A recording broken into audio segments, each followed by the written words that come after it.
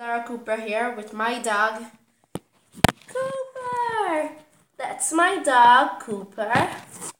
My blog is called Lauren Cooper just because of my dog. So, in many of my videos, you're going to see Cooper. Hope you like him. He's really cute.